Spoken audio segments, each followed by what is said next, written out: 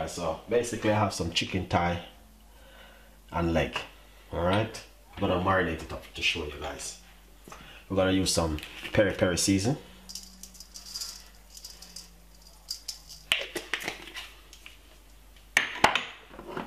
Some paprika.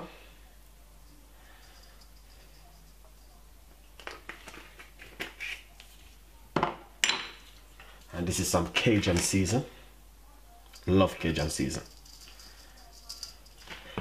Basically you can use what seasoning you have at home? It doesn't matter. Some mixed herb.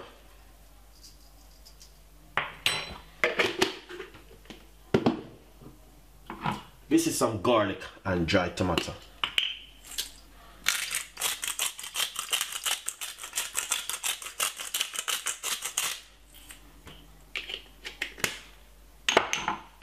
and I have some natural blending season with garlic, all different kind of, you know, I mean, dry thyme. Here it is. This is how our look, beautiful and nice.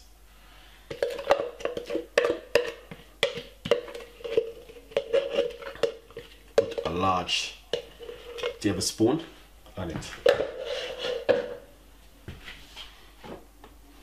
I'm gonna put a little bit of chicken season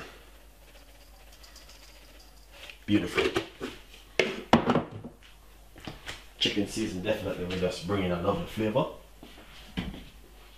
I'm gonna use some reduced tomato ketchup, reducing sugar and salt.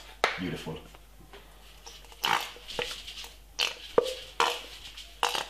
Beautiful. It is fantastic.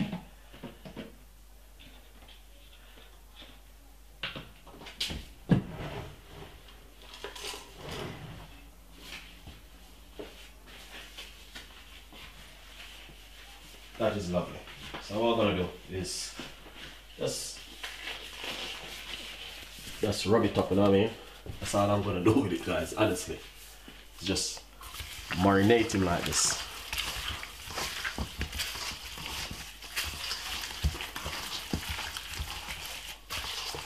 You can put your own garlic, white onion, but I have some natural blending season. I just use that on it. So what I did, what I do now is marinate it and then this can get ready for the next day to cook. Alright. Simple as, I mean put it on a tray like this. Get it ready for the next day.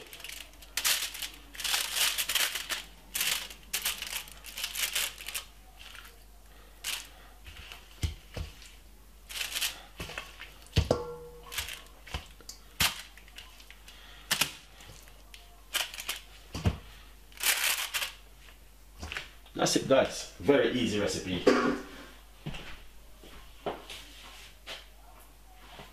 These are just some simple recipe at home. Now I can show you guys what you can do. So enjoy it, subscribe and leave a comment in the description box. So that's what you can do. Marinate up a chicken, put it down and get it ready to cook the next day. I will see you next time with more recipe from Chef Ricardo. Bye bye.